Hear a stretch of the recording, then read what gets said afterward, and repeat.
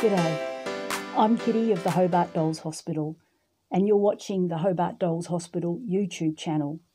And this particular video is the second part to the story that I am doing on the Käthe Kruse doll. If you haven't seen the first video, go back and watch because there is a story that came with this doll saying that it had been in some type of concentration camp and that wounds had been painted on it so that the children would care for the doll and not focus on what was happening around them. My job was to reverse some restoration that had been done to this doll many years ago in order to see that those wounds still existed underneath that restoration work.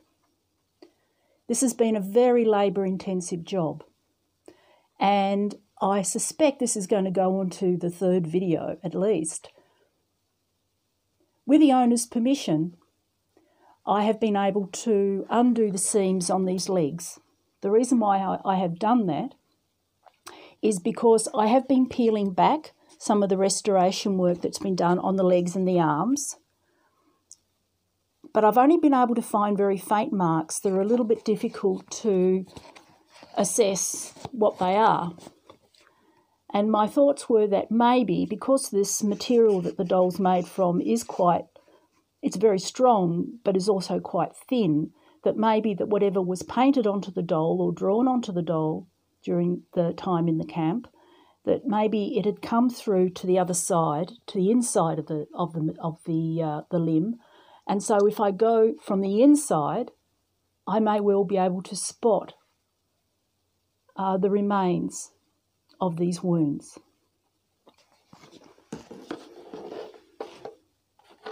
So I have undone an arm along the seam and one leg.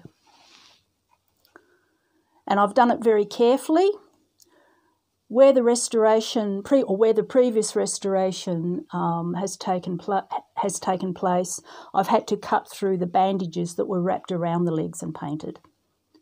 Where the restoration hadn't taken place, I was able to very carefully cut through the stitching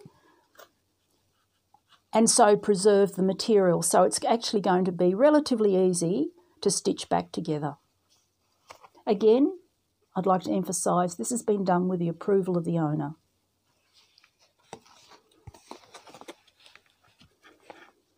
And I have removed what I presume to be, I've been told, is reindeer hair stuffing.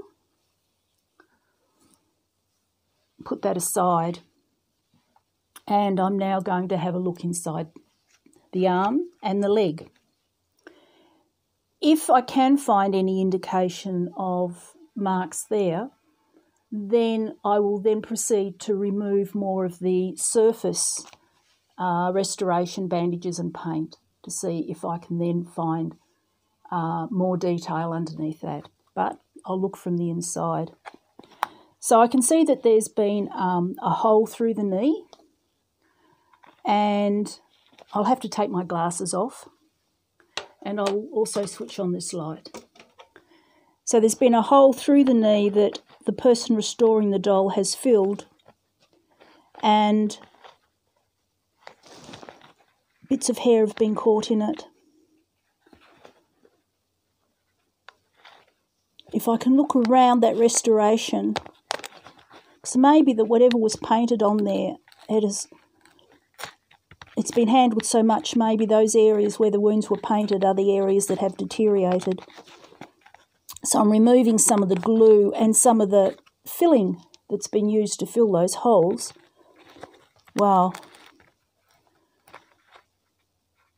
I can see something that looks as though it has come through the material. It's um, a little sort of a, a pink red line that really wouldn't have any reason for being there when the doll was made.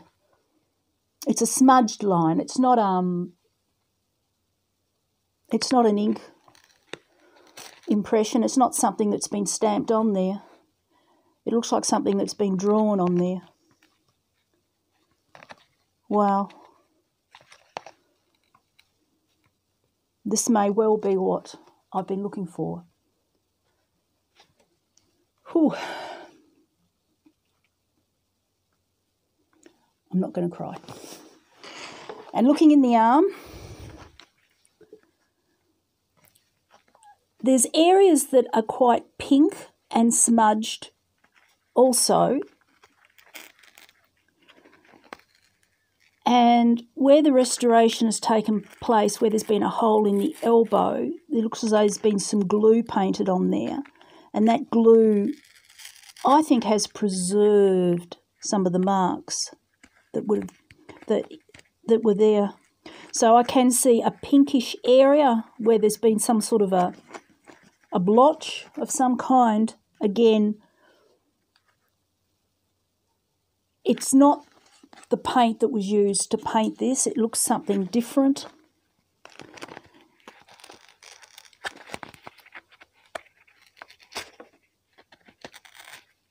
And there's like a, a line across the arm where there's been some stitching. An interior bandage has been stuck on to hold the arm together. And when you lift this bandage, yeah. So, what I think's happened is that where these injuries were drawn on the limbs, it's either worn through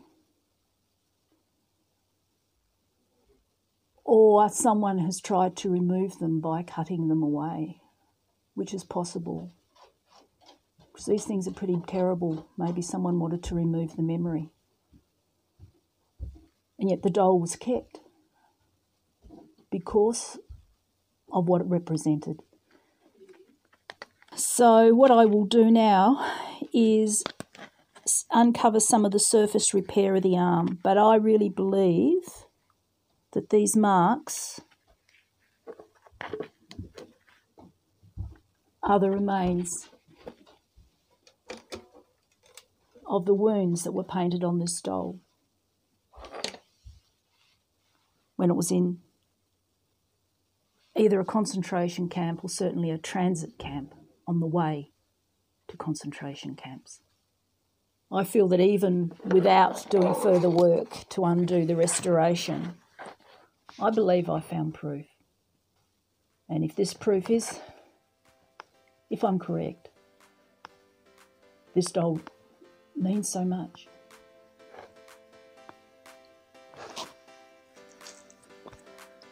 I will put out an, at least another video where I've removed more of the surface layer to see if I can expose more of the injuries that were painted on there. Thank you for watching. Don't forget to subscribe. Bye for now.